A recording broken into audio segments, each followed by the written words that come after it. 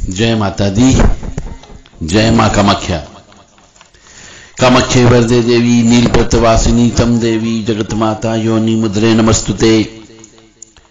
कामाख्ये काम संपन्ने कामेश्वरी, हर प्रिय काम नाम देहि में नित्यम कामेश्वरी, नमस्तुते।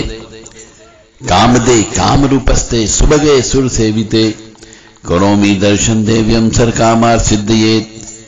ओम महेशानी महामाए चामुंडे मुंडमालिनी आयु आरोग्य ऐश्वर देही में देवी परमेश्वरी। ओम जयंती मंगला काली भद्रकाली कपालिनी दुर्गा क्षमा शिवा धात्री स्वाहा सदा नमस्तुते। ओम सर्वमंगल मांगल्ये शिवे सर्वा साधिके शरण्ये त्र्यंबके गौरी नारायणी नमस्तुते। दुर्गति नाशिनी दुर्गा जय जय काल विनाशिनी काली जय जय उमा रमा ब्रह्माणी जय जय सीता राधा रुक्मणी जय जय। महालक्ष्मी नमस्तुभ्यम नमस्तुभ्यम सुरेश्वरी। हरि प्रिये नमस्तुभ्यम नमस्तुभ्यम दयानिधि। या देवी सर्वभूतेषु लक्ष्मीरूपेण संस्थिता। नमस्तस्ये नमस्तस्ये नमस्तस्ये नमो नमः। देवराधा ट्रस्ट की तरफ़ से सत्यवाणी की प्रस्तुति।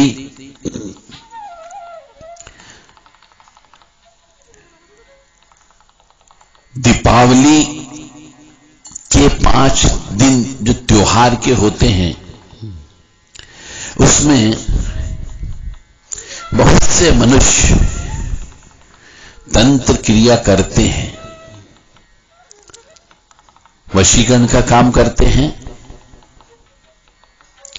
मारण मोहन उच्चाटन का काम भी करते हैं। इसलिए प्रत्येक मनुष्य को यदि यह जानकारी हो जाए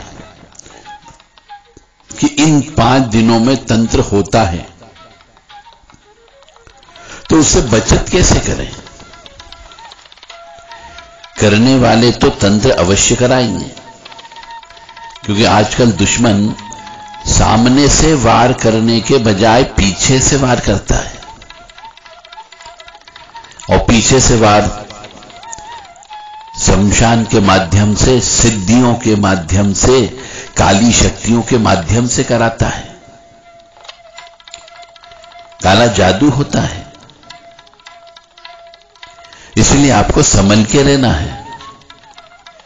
और इस काले जादू से रोकने के लिए बचने के लिए आपको कुछ नियम का पालन करना है। कोशिश की जाए कि यदि आपने जो मैं बताने जा रहा हूँ, इन नियमों का पालन कर लिया तो संभवत आपके घर पर या आपके परिवार के किसी भी सदस्य पर कोई भी जादू टोना नहीं होगा। तो नियम क्या क्या है? पहला नियम यह है कि आपको ब्रह्म मुहूर्त के अंदर उठना है। यदि आप 9 बजे तक सूर्य उदय होने के बाद में उठते हो तो निश्चित तौर से आपके ऊपर जादू टोने का प्रभाव अवश्य होगा। ब्रह्म मुहूर्त का मतलब होता है, सवेरे चार बजे से लेकर के सूर्य उदय के पहले पहले अपना बिस्तर छोड़ देना है। और उठ करके सर्वप्रथम अपने घर का जो मुख्य दरवाज़ा है, उस मुख्य दरवाजे पर आपको गोमूत्र मिला हुआ जल छिड़कना है।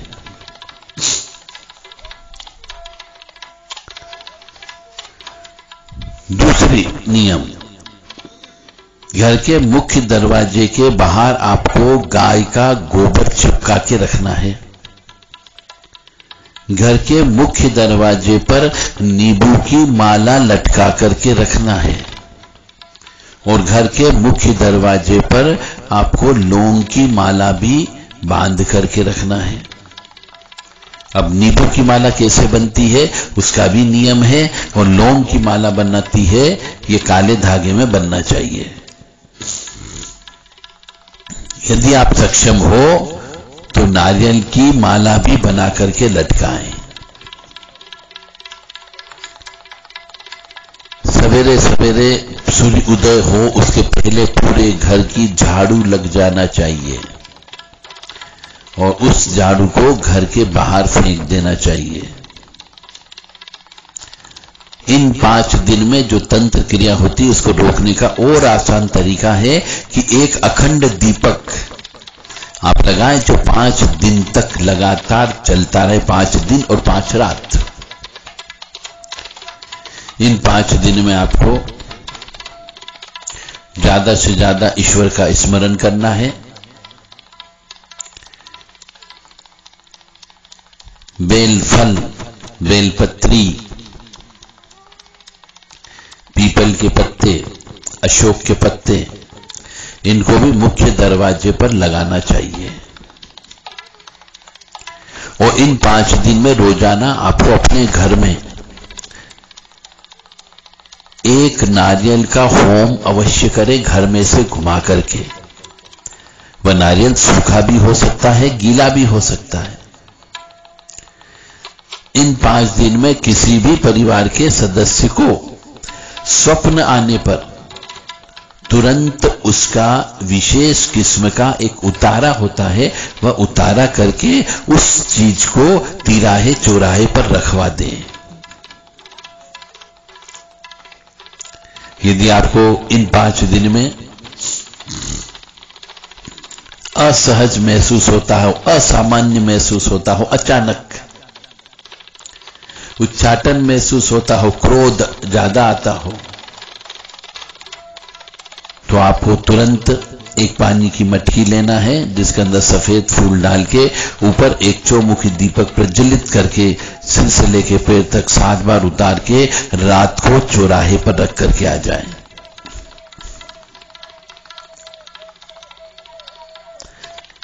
घर के जितने भी दरवाजे हो हर दरवाजे पर आपको एक एक नींबू कमरे में से घुमा करके दरवाजे की चौखट पर काट करके रखना है।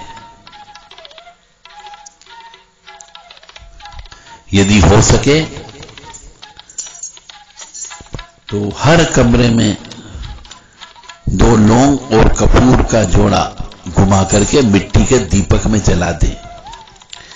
और रात को सोते वक्त भी यही प्रक्रिया आपको करना है। इससे आपकी इन पाँच दिन में जो तंत्र विद्या होती है, उससे बचत होगी। इन पाँच दिन में पूरे घर में गोमूत्र, गंगा जल और गुलाब जल का छिड़काव करें। और इन पाँच दिन में पूर्णतः स्वस्थ रहने का प्रयास करें। कोई लड़ाई झगड़ा न करें, क्रोध न करें। और इन पाँच दिन में 21 दीपक घी के और 21 दीपक तेल के अवश्य जलाएँ। घर में, घर के बाहर, चारों तरफ़ जहाँ तक आप जा सकते हो, आपकी हद हो, पीली सरसों और काली राई, दोनों को एक कटोरी में मिक्स करके 11 बार बजरंग बाण का पाठ कर उस पीली सरसों और काली राई को पूरे घर में और घर के बाहर छिड़क देना चाहिए। ताकि आप इन पाँच दिन में अभिचारिक कर्म जो यदि होता है तो उससे आपकी बचत हो सकती है। यदि आप किसी सिद्ध स्थान पर जाते हो किसी अच्छे मंदिर में जाते हो, किसी शक्ति पीठ पर जाते हो, वहाँ से यदि आप कोई धागा वगैरह लेकर के आए हो तो उस धागे को गले में धारण करके रखें। किसी अच्छे दरबार से तावीज यदि आपको मिल सकता है तो तावीज आपको धारण करके रखना है, ताकि कोई अभिचारिक कर्म आपके ऊपर ना हो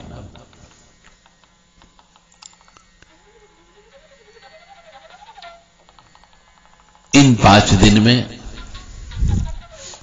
मिठाई का आदान प्रदान बहुत होता है। और मिठाई में ही तंत्र से संबंधित सामग्री डाल करके आपके घर तक पहुँचा दी जाती है।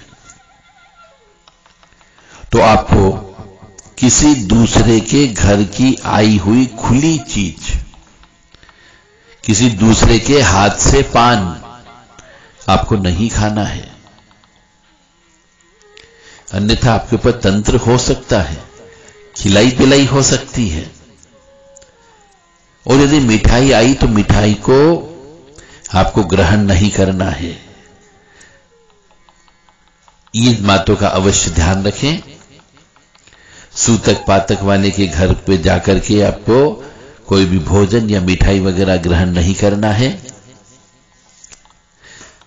अन्यथा इन पाँच दिन में तंत्र आपके ऊपर हो सकता है।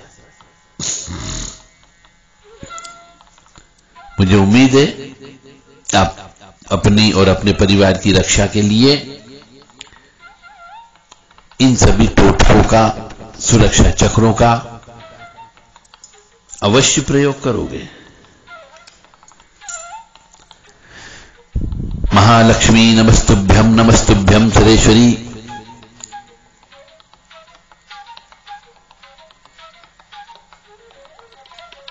नमस्ते, अस्तु महामाय श्री पीते सूर्यते शंख चक्र गदा हस्ते महालक्ष्मी नमस्तुते। नमस्ते गरुड़ारूढ़े कोला सुर भयंकरी सर्पाफरे देवी महालक्ष्मी नमस्तुते। सर्वज्ञ सर्वरदे सर्वदुष्ट भयंकरी सर्दुखरे देवी महालक्ष्मी नमस्तुते। सिद्धि बुद्धि प्रदे देवी भुक्ति मुक्ति प्रदायिनी मंत्र मूर्ते सदा देवी महालक्ष्मी नमस्तुते। ये महालक्ष्मी अष्टकम है। इसका पाठ इन पाँच दिन में ज़्यादा से ज़्यादा करें और घी की आहुति से दशांश हवन करें। महालक्ष्मी की कृपा अवश्य होगी। जय माता दी, जय माँ का मख्या।